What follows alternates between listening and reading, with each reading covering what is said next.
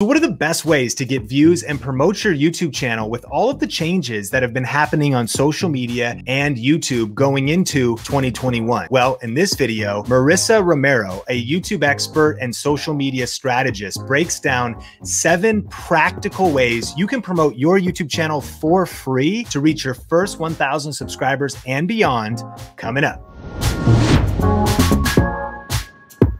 Want a copy of YouTube Secrets audiobook for free? Right now, when you sign up for a free 30 day trial of Audible, you can also get a complimentary copy of the number one best selling YouTube strategy book in the world. Download your copy today at tubesecretsaudio.com. Welcome back, influencers, to Video Influencers. Sean Cannell here, and I'm fired up for this episode because we're going to be going through practical ways that you can promote your YouTube channel for free and reach your first 1,000 subscribers and beyond. And today I'm joined by Marissa Romero. She is a full time creator earning over six figures a year. She helps people understand that they have winning six figure knowledge that they can build, grow, and scale online. And she has traveled the world, spent time as a digital nomad, built a business around her lifestyle. Four years ago, you could see on her channel a video she uploaded about her LASIK eye surgery. But then quickly, three years ago, she started started helping people with affiliate marketing, online marketing, social media, and how to earn passive income online. And that's all generated by getting views, by getting subscribers, by using YouTube. And we're going to get right into tip number one with Marissa on how to promote your YouTube channel for free using TikTok. Marissa, what's your advice? Yes. So thank you so much for that great introduction, Sean. Um, yeah. So TikTok, as we all know, has absolutely exploded, especially during the quarantine and during this crazy 2020 pandemic year. And a couple of things I wanted to highlight about TikTok, if you're not already utilizing the platform, is that it has over 800 million follower um, users on the platform every single month, which is massive. It's probably much more than that by now. And the cool thing about TikTok that I recently discovered is similar to Google AdSense. You can also get paid. It's called, I wrote it down, it's called a um, TikTok Creator Fund. And backing up a little bit, the cool thing about TikTok is that you can link your YouTube channel straight to um, the TikTok platform. And what's even more cool now is I'm pretty sure if you have minimum a thousand followers on the platform that you can add a link right in the bio. So the virality on TikTok is like something that you cannot ignore, especially during these times where social media traffic in general is going up and up. So definitely I would be leveraging the TikTok platform if you're interested in growing your channel. It's something where you could even take a couple of tips from the YouTube videos that you're making and just converting them into the portrait style video and uploading it onto the TikTok platform. Yeah. And what's cool is that TikTok, because of the acquisition, is safe and a good place to build for the future. And some of the other videos we've done on this channel with like Brock Johnson talk even about creating content that could be used for Reels first without the TikTok branding, and then potentially be used on Instagram Reels and TikTok, multi-purposing the content. What do you think about that, Marissa? No, I think that's great, um, especially because I think Reels is something that is very popular right now and taking off. Um, recently, I noticed the one of the Reels I just posted is showing up in the Explorer page. I was like, I've never seen anything in the Explorer page of mine, but I've seen my Reels, so I I'm I'm feeling that. I like it. I love it. Well, tip number two for how to promote your YouTube channel for free is creating search-based content by focusing on keywords. What's your advice on doing this to get more views? Yes. So I recently down well not recently, a couple of years ago, but I re-recently paid for a tool called Keywords Everywhere, which back in the day, creators from 2018, 2017 and before knew that Keywords Everywhere was a tool that was free. Now it does cost money, but it's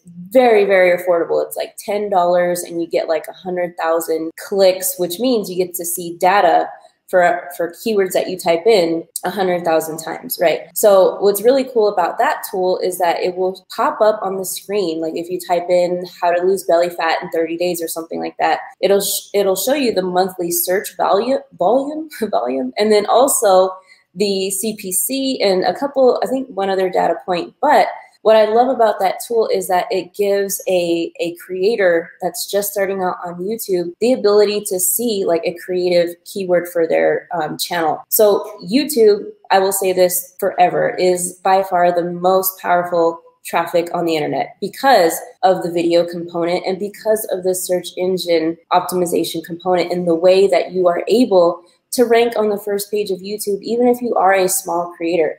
That's really the power in it. I've seen some of um, the students that I've coached before, literally a channel with 50 or only 50 subscribers was able to outrank a creator, I think, with 300,000 on the first page because of well researched keywords, right? And that video got like, I think, a thousand views, and it's a baby channel. But that is the power of doing keyword research right and being um, diligent in your research every single time that you you want your title to be keyword rich. So I can't emphasize that enough super powerful. And if you want to check out more details on doing keyword research, if you're new to that, click or tap the YouTube card because we have a series here on video influencers that can help with that. And if you've been getting value so far out of these tips, smash the like button because Marissa has more tips for us on how to promote our channels. With the third one being collaborations, which is in fact what we're even doing right now. Collaborations can come in a lot of different ways. It could be an interview,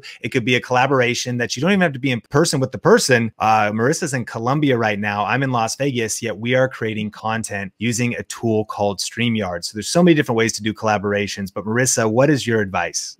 Yes. So my first advice to people thinking about, oh my gosh, a collab is don't think it's scary. Never be too um, intimidated or think that just because another creator has a larger audience um, than you, that you can't offer value for their audience and collab with them. Don't ever be afraid to ask. What I say, and in the beginning when I was a smaller, because at the making of this video, I think I'm 100, closing in on 130,000 subscribers. But I, when I was smaller, like less than 10K subs, I would not hesitate to reach out to other creators, even though they were bigger to me, because I would always lead with value first. Like, look, how could I help you first? You know, I know that I, you know, in the back of my mind, I thought, well, I, I know I don't have a, as big an audience as them, but I'm sure I could offer them advice on this or maybe you have a platform, maybe you have a LinkedIn or a Pinterest account or some other type of social media platform that has a strong presence and say, hey, I could also shout you out on this platform. But I think first it's just leading with how you can serve them first and tell them, shoot them an email, and you can also shoot them a DM and say, hey, what I love about you know your videos, I've been watching them for X amount of time um, you know, just things that you really like about their channel and how each other's audiences would be great to swap and um, and give value in that type of way. And like Sean said, you don't need you know to be sitting next to each other in a room. Especially this year, it's kind of impossible in some areas of the world. Like a Zoom call is perfectly fine. You know, we're using a tool, like he said, called StreamYard.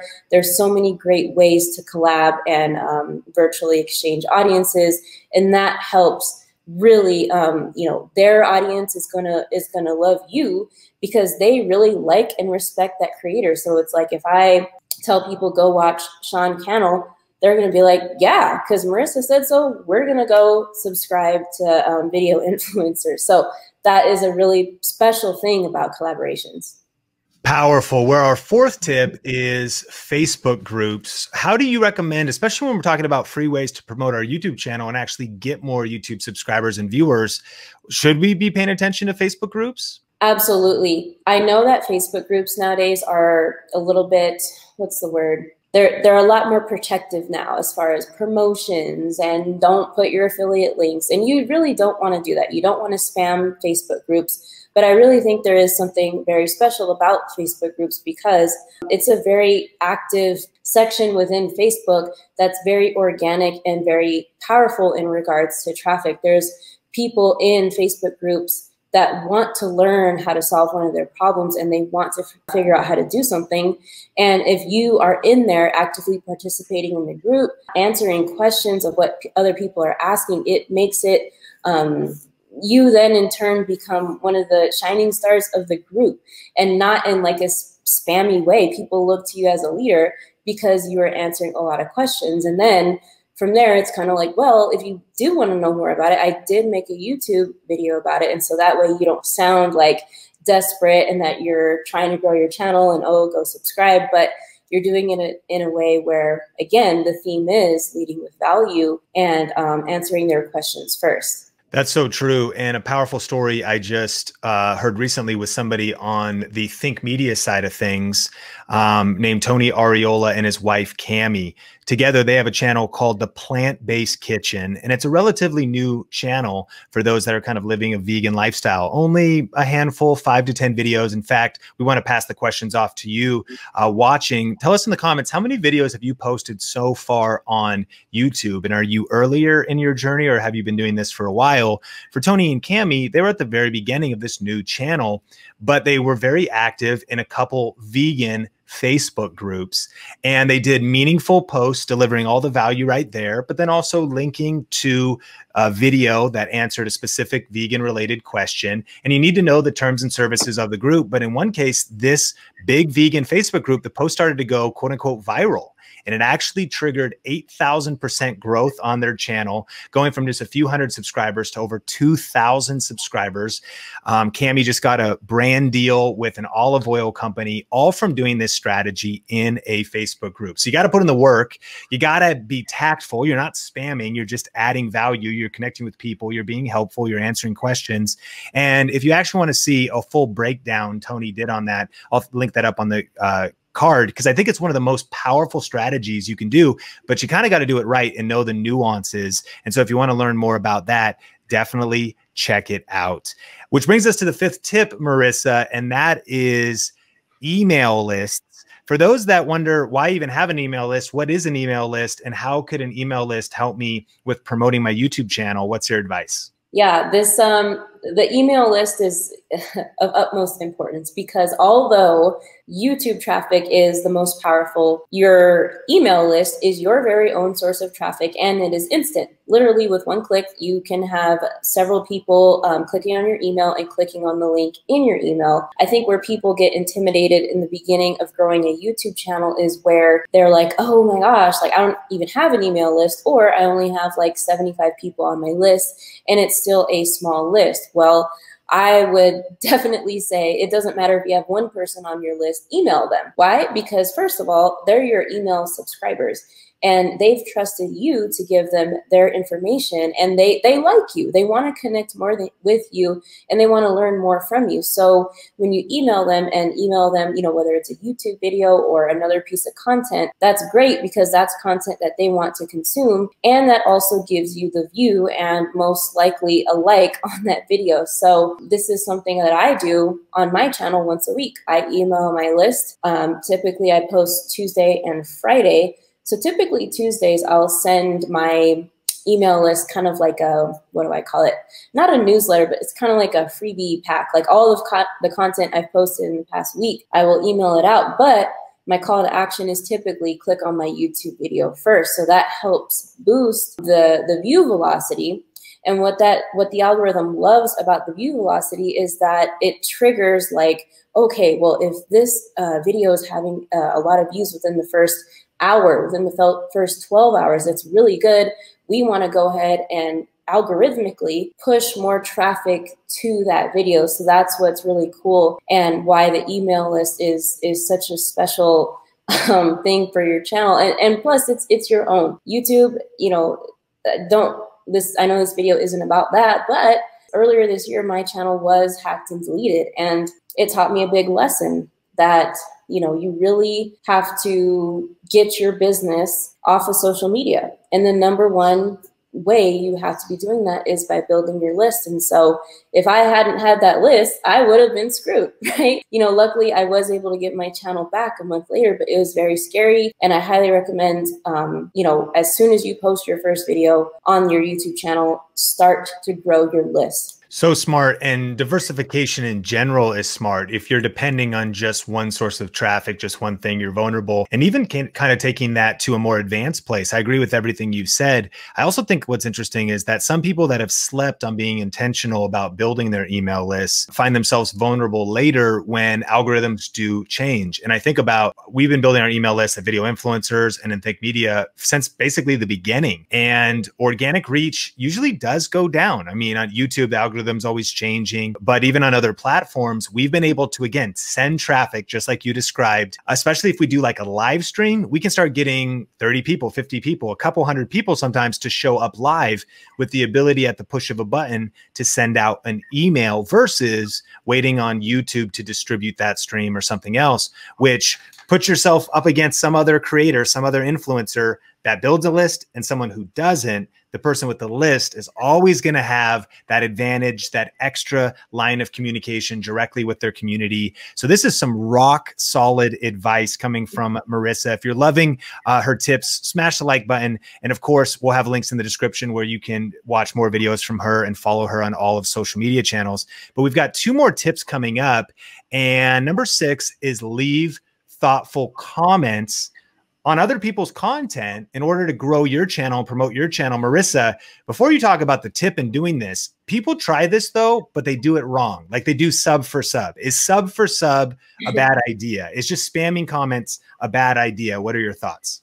Yeah, and that's actually it's it's a bad idea because a lot of uh, bigger influencer influencers and creators, um, at least I have those words blocked because there's some yeah, there's a lot of profanity and like curse words that I have blocked on my channel. And one of them is like for like, cause it's just annoying.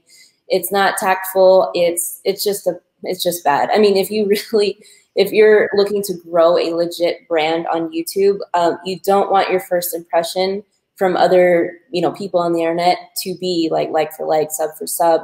And um, it's, it's kind of the same idea as you had touched on, Sean, with Facebook groups with it is leaving thoughtful comments like leaving a comment that relates to something in the video that's like 10 minutes in not just you know in the first 30 seconds or not just oh great video or something like that. Because you know back when i was a smaller creator i there was a few people where i i knew their posting times and i was like i'm going to post every single one. And i and i would genuinely leave a comment that that you know, where I watched their video and I would comment back like, hey, that was a good point you made about XYZ. Thank you so much. I learned this. And the other thing too is that I notice other creators that are doing that on my channel. I mean, I like it. I don't mind. I mean, I know it, I know now that it's um, part of them trying to generate traffic, but I, I don't mind because if they're not leaving their YouTube channel links, they're not um, sending traffic to their affiliate links, they're um, interacting with other comments on my video, which is great because that,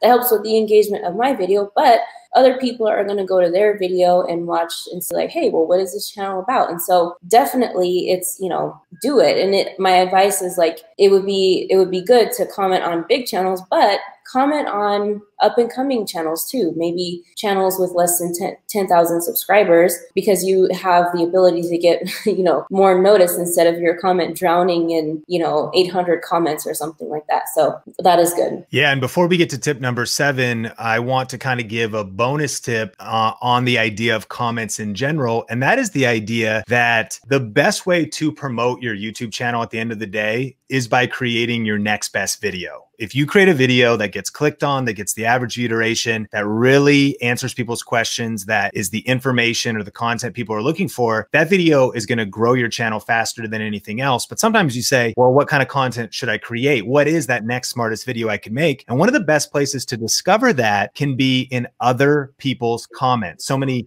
in the community here at Video Influencers say, well, I don't have any comments yet. I even tell people, leave me a comment of what you want to see next, but my channel's too small to even get feedback. Well, when you go on other other people's videos, besides leaving thoughtful comments, read what people are saying. Read maybe them saying, I wish this video would have covered this, or this video brought up this question by actually listening to active YouTube viewers in other people's comments that could inspire your next best video idea. And your next best video could be something that triggers your growth. Before we get to number seven, Marissa, can you think of a time when you had a breakout video? What's one of your videos that you put out and it did almost better than any other videos? When you look back now, you go, man, that video really grew my channel because I talked about a certain topic at a certain time with a certain title and a certain thumbnail. What's an example of like one video that really grew your channel? Um, I would have to say one of my work from home videos. How to work from a hammock. How to work from an Airbnb. How to work from a mountainside, let's say. How to work from um, this hammock I have sitting outside right here is what really got me on the map last year. And what was cool about it was it was it was a fun video that I made. I think I just took a little bit extra time to be more create, creative with the introduction um, because you know as you've talked about several times the intro holding attention in the first minute of that intro is is crucial and so i'm like well i'm going to put a bunch of cool b-roll um, of places I've traveled and um, really try to think about just online work from home jobs that, you know, are not Fiverr or, you know, not the general ones that people think of. So that one was, that one was a, a a good one for me. But one of my first viral videos. I love that. And we will link up all of those videos and more in the description. But we have the final tip number seven for how to promote your YouTube channel for free coming up. And when we say free, here's the thing we're talking sweat equity. We're talking about you putting in the grind here. These mm-hmm. do not cost you money, they just cost your time. They cost you rolling up your sleeves, punching fear in the face, punching perfectionism in the face, and pressing record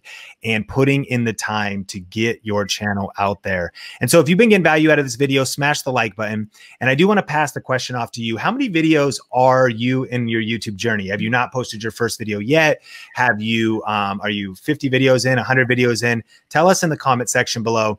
And then as soon as we're done with tip number seven, you're going to want to check out Marissa's video that actually goes deeper in how to grow your YouTube channel and reach your first 1,000 subscribers and beyond. So we'll put that in the YouTube description so you can watch that video next. But the final tip, Marissa, for how to promote your channel is IGTV, Instagram. We already talked a little bit about Reels, and that's kind of a new thing. But what do you find unique about Instagram TV that we could apply to promote our channels? Yeah, what I find great about IGTVs is if you have if you have an Instagram account, first off, download the IGTV app so that you can start promoting um, and using IGTV. And the reason why it's so special is because you can actually link a link in IGTV, in the IGTV description. The description is, um, it's up here. It's uh, That confused me at first. I'm like, wait, where's the link? Where's the description? But you click up and um, when, it, when it drops down, you can click on any link that is in the description. So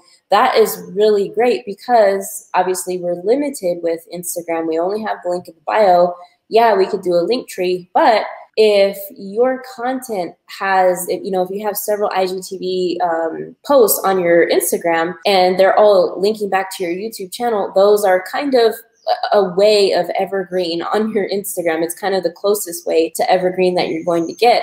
And the thing that I found with several testing on my Instagram is that my IGTVs are the best performing as far as engagement, as far as shares, as far as saves, and people are clicking to see that that video because um, it's really the only way that they can, right? To see a specific video because it's not like um, our YouTube description where we can put 20 links if we want to. Um, that's not that's not the type of freedom we have on Instagram. So I think that um, IGTV is a great way to show different highlight clips from your video. So if you have a 15 minute YouTube video, you want to pick um, just a couple of highlight re- reels from that video, maybe a, a curiosity based statement, a power statement that you've said throughout your video that you know is going to um, spark curiosity and you know encourage people to click. Like oh okay well definitely let me watch this video and I'll click in the uh, description of her IGTV and go watch the rest of it on, on uh, YouTube. And the other thing I like to do is give a call to action. Um, sometimes I give a uh, video in-person call to action. So I'll show like a minute to 90 seconds of my YouTube video clips. And then I'll say, hey, you guys, you know, to continue watching this, click up here in the IGTV description and let's go ahead and continue watching the video on um, the YouTube channel and I'll see you there. Go ahead, click, click, click. So that's what I like to do. Brilliant, Marissa. And thank you for adding value to the video influencers community today.